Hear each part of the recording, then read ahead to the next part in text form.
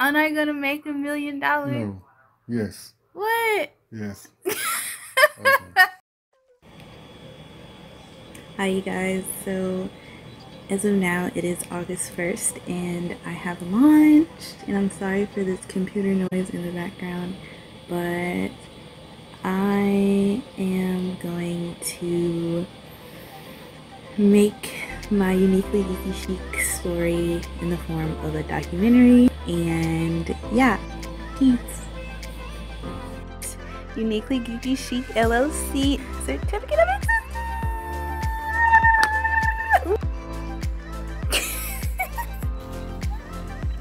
oh, there. Oh, they look good. They look so good. The shipping labels for the Dymo printer is here. Here it is.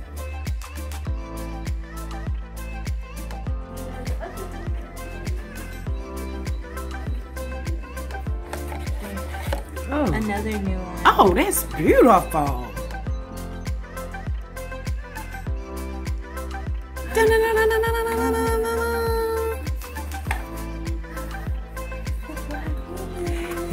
Black woman. Yay! Beautiful. It looks so good. It's beautiful. I ordered these mailers. It's only up from here. And yeah. I know you guys don't watch the full video, so I am here to tell you that this is a part of the launch of my business, Uniquely Geeky Chic, an online decor store featuring my original accessible poetry centered around our multifaceted heritage and reality. So go get you some authentic pieces for your place at www.uniquelygeekychic.com. Links in the description and the comments. Roll film! One of the most terrible things is that, in fact, whether I like it or not, I am an American. My school really was the streets of New York City. My frame of reference was um, George Washington and John Wayne. But I, you know, I was a child. You know, when a child opens his eyes in the world, he has to use what he sees. There's nothing else to use. And you are formed by what you see, the choices you have to make, and the way you discover what it means to be black in New York, and then throughout the entire country.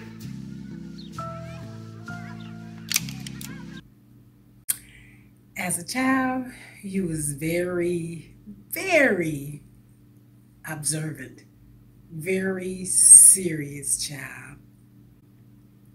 You always knew, you just knew stuff as a child. You wasn't like none other child. You just always, let's say, always concerning you was concerned about other people. You've always been concerned about other people's feelings. Being a little child, that's amazing. How I got introduced to poetry.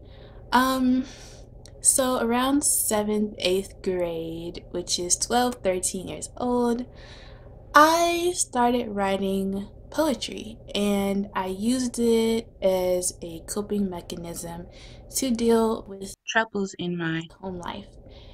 And, you know, despite teachers telling me that I was good at writing, they could see books from me, like my fourth or fifth grade English professor, she wanted to nominate me for uh, Georgia Young Writers, and then actually my eighth grade English teacher, she also said she could see books from me. But despite all of that, I used it as a hobby. I used it as a coping mechanism, and I didn't think too much of it. And I didn't think too much of it all the way up to my senior year of high school because also up until then I was geared toward the medical field. I thought I was going to be somebody's therapist, somebody's psychiatrist, somewhere in that sphere. And so I just put writing on the back burner.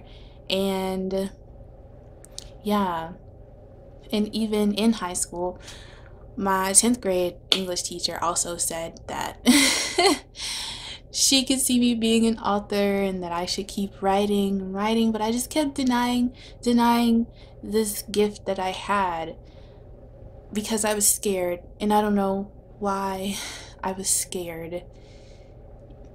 Yeah. Um but I get to my senior year of high school and I have a crisis. I realized that I would not really be happy in the medical field. Um, and I really had a heart to heart, of course, over several months on what to do. And I think I, I always knew, but it was English, it was creative writing, poetry. And so I prayed and prayed about it, and that's the path that I set on. And so I went to college as an English major with creative writing concentration. And things were good. I saw the the rewards from my path. You know, I even on the collegiate level, I had professors tell me how good my writing was, my poems were. And so that was really rewarding and really kind of validated for me that I was on the right path. And so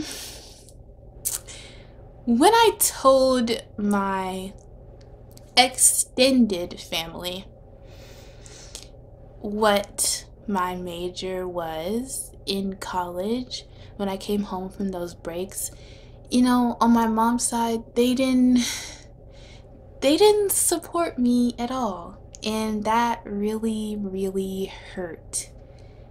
Um I wasn't to stop anyway, but hearing as a as an 18, 19, 20 year old hearing, "Oh, what what's your major? English?